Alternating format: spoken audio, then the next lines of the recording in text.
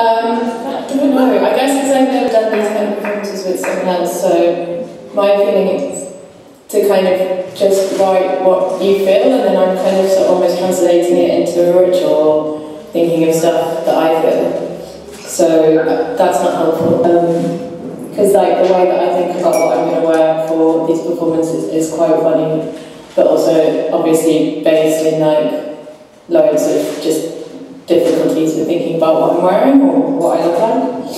But often it is like, you know, like I'll wear big pentagram earrings, but that's ridiculous. Or there's not going to be very many black people involved in this because it's the art world. To the point where like it's so great some trans voices on the lineup that are being tokenized. Mm. And it's how I then subvert that and change in the space. And to me, it's about having these explicit conversations. It's about bringing it into the art. It's about letting them know. It's about like explicitly saying that. It's about doing work that's not going to make them happy. Um, doing work that's going to challenge them. Finding ways to like bring it into conversation. And then you see their faces kind of change as they brought you. And their idea of a token is that they bring you and that makes them look good because yeah. it makes them look like they've got a bit more the diverse lineup, and then we bring into the space something that's going to aggressively challenge them. They may not fight back after that, like, then infiltrate that space in a successful way. So, we talked about how, like, so I'm getting £400 to do this project, you're getting £100 to do it. Like, it's kind of part of my fee is like finding exciting people, you know what I mean? And it's, I feel like often the more like visibility happens, the more I'm seeing like skinny, usually white, like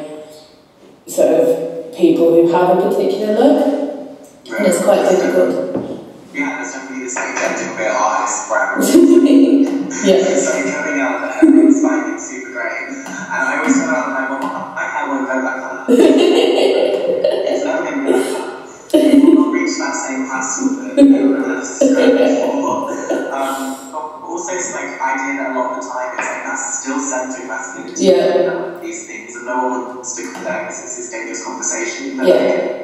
when you know the amount of times it happened a bit more aggressively at the tape last week walking mm. into the the, the the green room and like people assuming that I was doing cabaret or drag like and it's that feeling of like you can't have an off day because like the art world is already suggesting like why the fuck are you here? Yeah. I thought the thing that you said last time we talked about um, needing transport to and from venues was really interesting as well. That like I would never have thought of that if a venue wants you to present yourself in the way that they want, that they're like paying for, which is often maybe like really or like really glam then they also have to take responsibility for the safety of that outside of the institution. Yeah, um, like I started, I drafted, I think my next piece is going to be like a recorded, like I'm going to start recording by transport to and from gigs for a while. Yeah. And I think I want to talk, like when people ask me for this pay, and you know, every, loads of artists are starting to talk about money now, which is great. It's mm. kind of good that we're talking about like money in the like politics of pay, but it's mm. real, yeah. Like, no one thinks about the fact that I have to then take that hassle to like decide, what if I'm performing tonight, I want to wear this, I want to look good, but then I don't get to the, the gig in time because I maybe shout at the friend say, I was trying like, uh, and then it's funny, the, the or then that, like, that trauma gets modified into yes. So like the last piece of a lot of my sets now is kind of this like chorus song about like protecting my body when you go home, and people texting me to check how I get home okay, and all these things that we do for cis white um, like slim women, but not me. Yeah. Mm. And after that performance, everyone texted me to check about her. Everyone wants to offer me a Uber, and everyone wants to do that. It's really cool because it works. Yeah. That's good. But, it's funny because last week I was like trying to chicken mayo burger out across oh my God. across Waterloo Bridge. Jesus. Um, and I dodged it. I was like yeah. a quick dodge, and I was also like kind of laughing because I was like just wasted a whole. Oh, okay. um, and I said it in the set, and I think like I was like, oh, like, just to let you know, I kind of changed my set around because I was trying to shoot mail over at be across the road, and no one even blinked.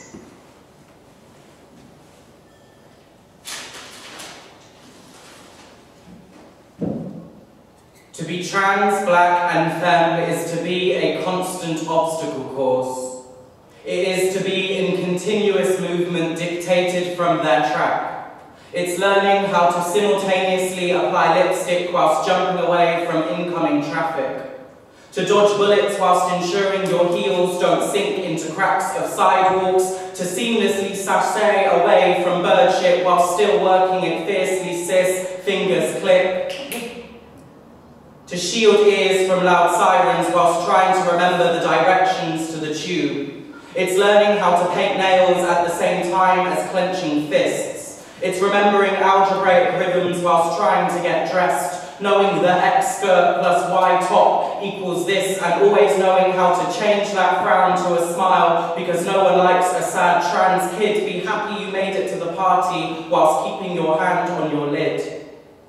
To be the life of the dance floor whilst assuring them that this is only dress up. It is to be sure you are not trying to emulate them whilst being certain not to deviate too far. It is making sure you do not catch their eye while still letting them look. Welcome the curiosity, but never ask questions.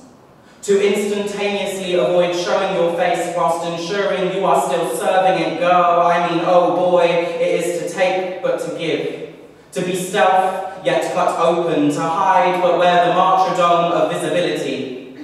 To be mute, but know how to scream loud enough so the main road can hear you say yas always, but know when to stay in your place yourself awkwardly at the borders of gaze, and in secrecy like being trans, but never say it out loudly. Tell your cis girlfriend she is fierce once every two weeks, so they do not suspect you to be humanly possible to dodge 30 things at once. You wonder how it is possible to survive. It becomes too real. It's learning how to imagine all the ways your commute could be safer, but never write it down. Play your oppression because you don't want to make it awkwardly remind them of your pronouns, but never say it with conviction. To be trans is to learn to love to be convicted. It is learning to split yourself in 45 pieces while still looking pristine. It is to be apologetic but be expected to wear confidence. It is to be in constant obstacle course, to be a constant obstacle course, be a constant obstacle, obstructing them obtusely, obstruct them coarsely, it is to be their assault course. Avoiding the party I'm on Facebook, and a friend posts a story written by a woman who read a story about a man who was ejected from an aeroplane. She says that this is her biggest fear, I also hate flying because I'm always terrified that the seatbelt's not going to be long enough to get over my belly, or that I'll be seated in the middle, or that the person next to me will hate me. You probably don't know that I worry about being fat because I also post loads of amazing selfies on Instagram. But in these kind of situations, like having to be in aeroplanes, or to sit in chairs, or small bathroom cubicles, or at restaurants, or in cars, or in trains, or buses, or generally next to other people, or at the cinema, or alone with others at a restaurant, or in any other kind of eating environment, or say at the beach. It's pretty awful. But I think about the man being ejected from the aeroplane, and immediately I think thrown off of the aeroplane as it's falling from the sky, and people scream and the fat man is ejected, like there's a coiled spring under his seat and he is sitting on the seat, and then when he is ejected he goes through a hatch in the roof, and then the plane manages to soar back into the air because it's obviously a lot lighter, and everyone cheers and the fat man falls to his death. But actually, I realised I got it wrong, because actually, what happens when people are ejected from an aeroplane is that it's the aeroplane that's the one that is on fire and that crashes and burns. And hey, maybe the fat man on the ejector seat floats happily downwards into the sea, and then maybe he stays there long enough that he grows a tail. And he swims up and he gnashes his teeth and he's weightless underwater. And eventually he bites into the fibre optic cables down there and breaks the internet once and for all. This isn't what she meant when she said ejected though. What she meant, the person writing about the fat man ejected from the aeroplane, is that the fat man was forced to leave the plane because someone sitting next to him complained about him being fat and that made her uncomfortable. And apparently airline companies are allowed to make fat people leave planes, so had to walk down the aisle past a hundred and whatever people. Ejecting is also vomiting, abjecting, throwing up, removing. And so this fat man was forced to leave the plane, and he couldn't go home. I was walking home at about 2 p.m. And it was in the afternoon and I had already been to one lecture and that was enough for the day. It was pretty bright outside so I decided to walk across Waterloo Bridge because it's nice to see the sun from there. It was the post-lunchtime rush, where everyone is making sure they are going as quickly as possible to get back to their offices and stores. The bridge almost felt like that typical London cliche film scene of conveyor belts of people never smiling, always moving along, looking down and not standing out. I guess I stood out because under cis heteropatriarchy that favours whiteness and masculinity, a black binary breaking femme kid in a full PVC outfit will always draw some eyes.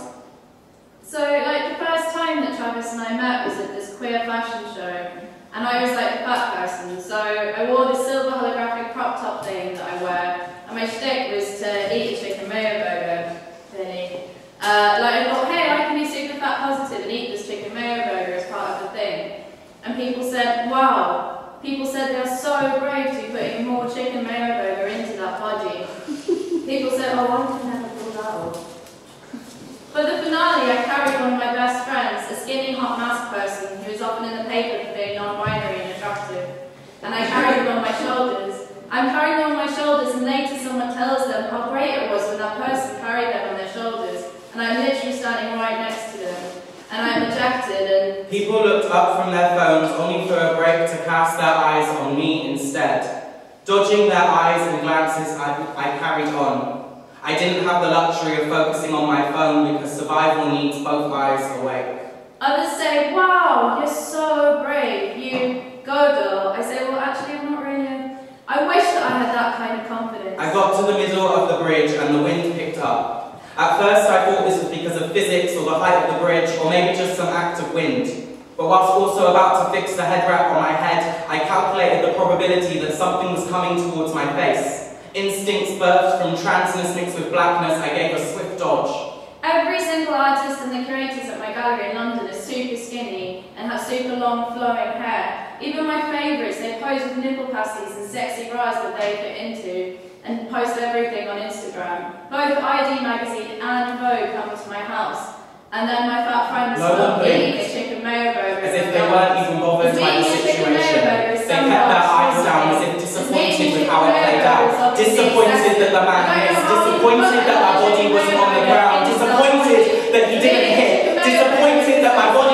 on the ground. Disappointed that the chicken mayo burger didn't hit me in my trans face. Disappointed that I'm still existed. Disappointed that I'm in this space. Angry that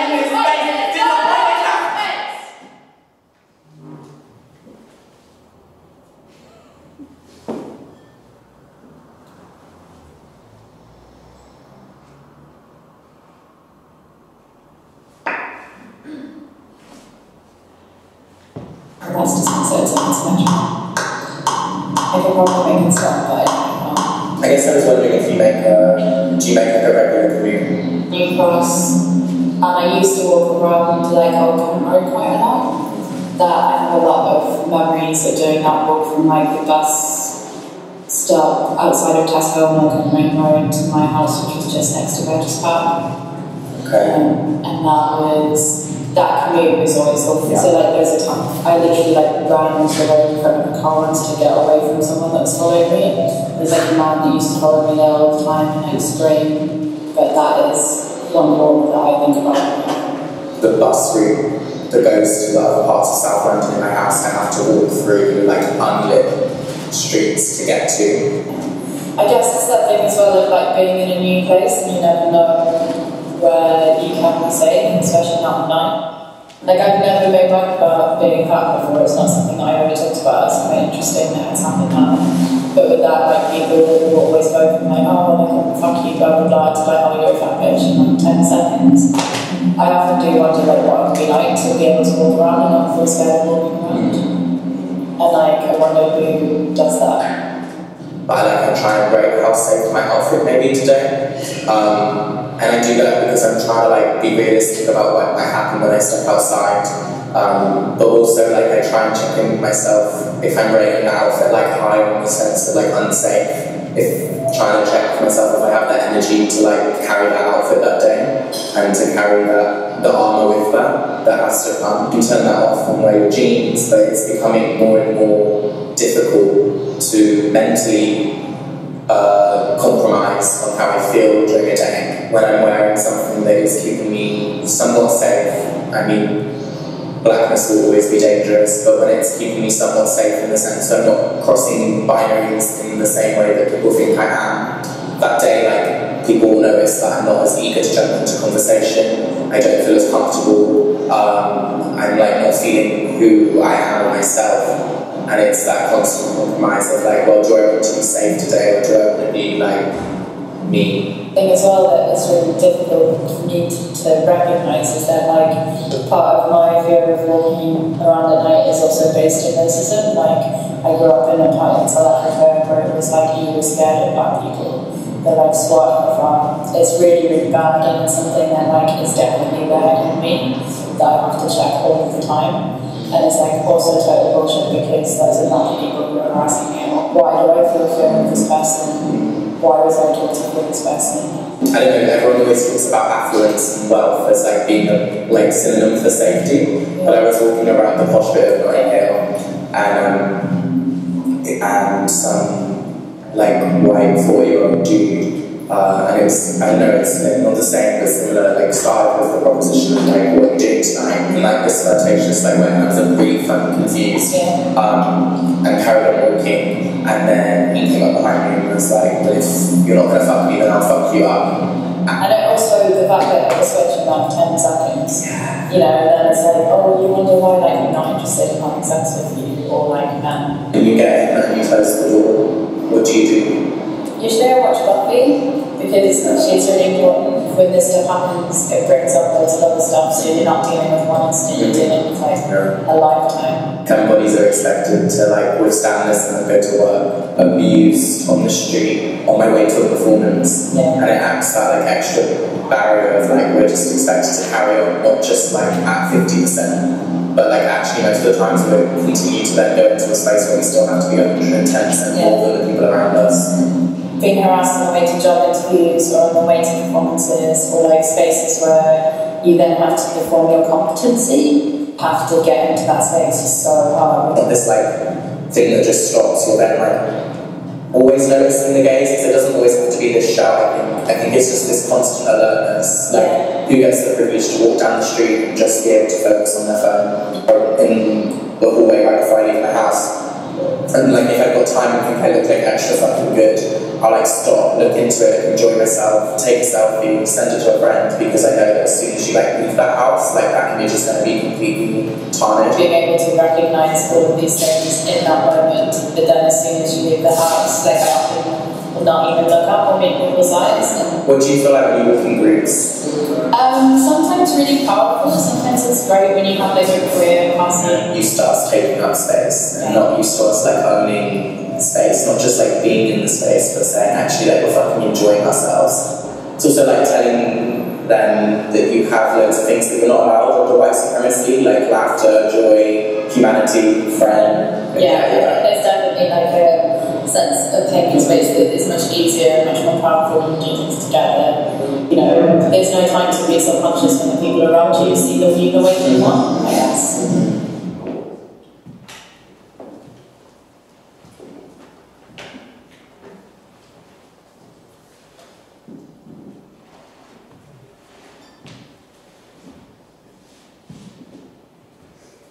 straight man projects his ego onto the world, onto me. But this is only a mirror of his own reflection, right?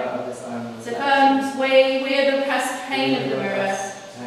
Even harder to recognise, we're the repressed stain of the mirror. The bit at the back, the lack of reflection, the dark coating that allows the transparent glass to be a mirror. Spell to protect each other, mirror 2.0.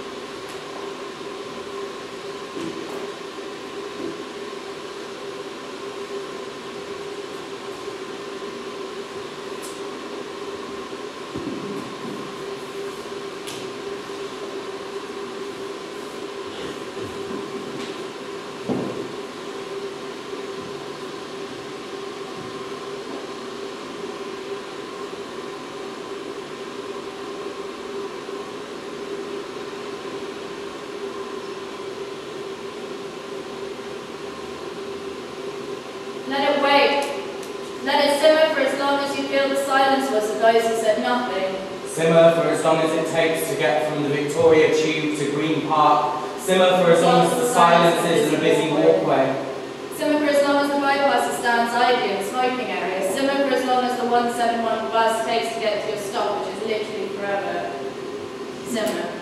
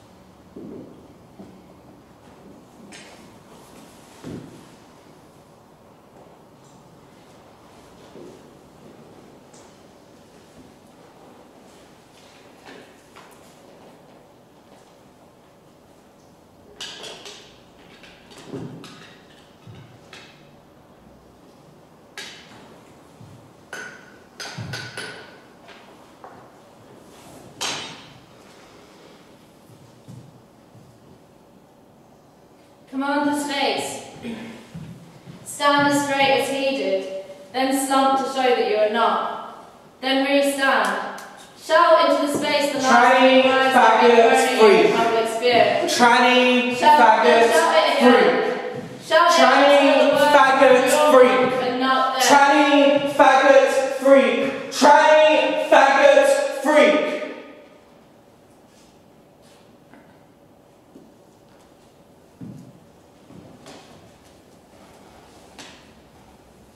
Hold your mirror in your dominant hand and focus on the part of yourself that makes him think that he can shout at you.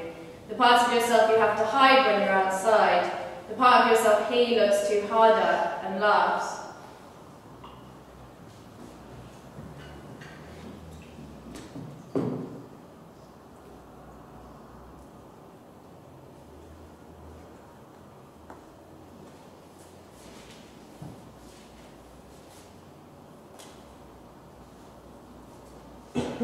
As you wrap your bandage around the mirror, think about his gaze as no longer being a reflection of yourself.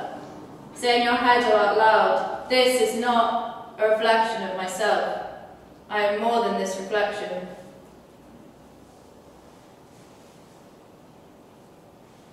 Try and hold your own gaze for as long as possible.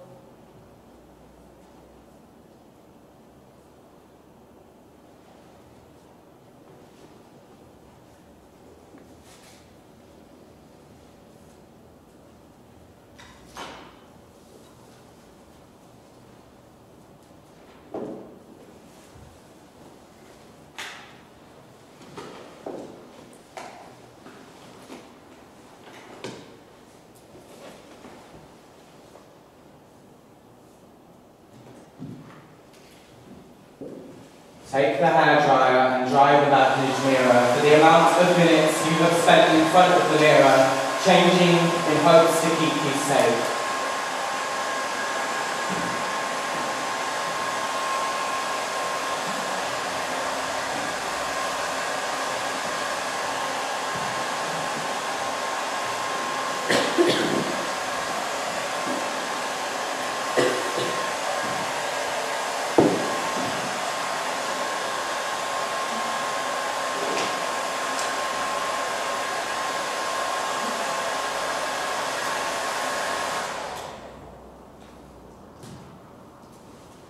Cut open the bandage.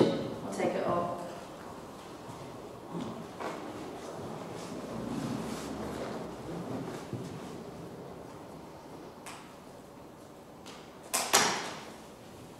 Take the bandage and write on it the words that were thrown at you.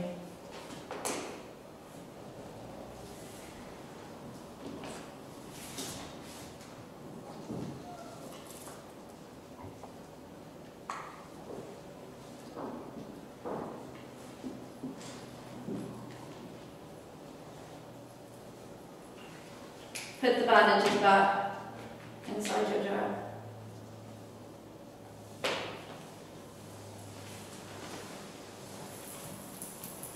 Fill the jar with needles. Fill the jar with pins. Fill the jar with every thought of self-harm that you've ever had. Fill it with every man who thought that fuck off was an extended form of flirting.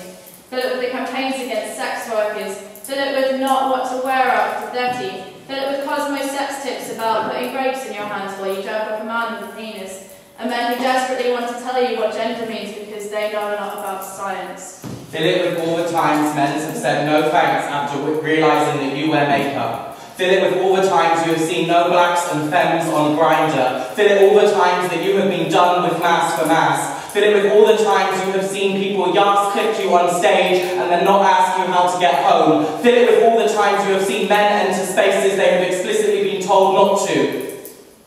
Fill the jar with needles. Fill the jar with pins.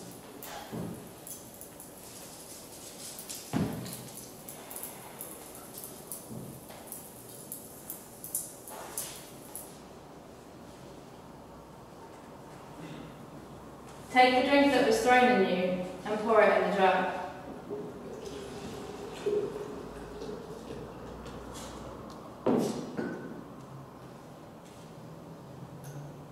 Amen.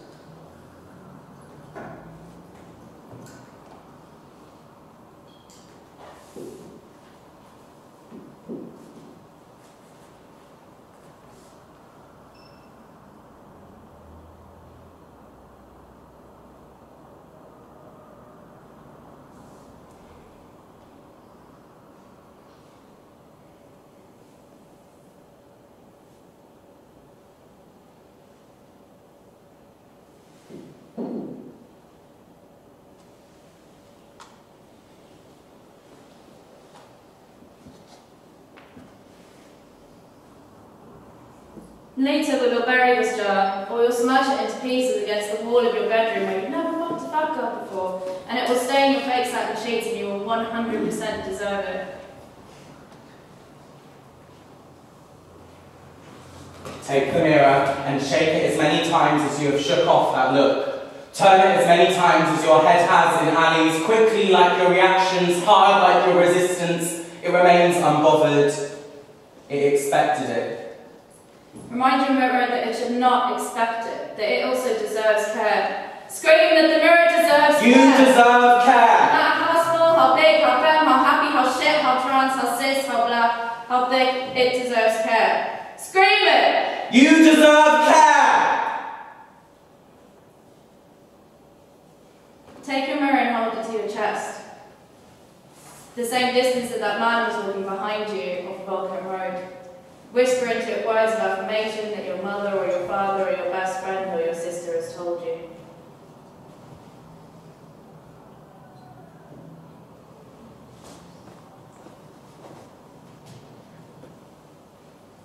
For every time this morning you thought leaving bed was not going to happen, it happened.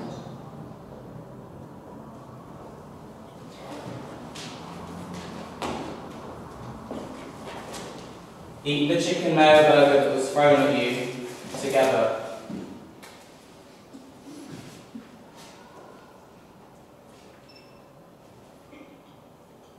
I vow to protect you more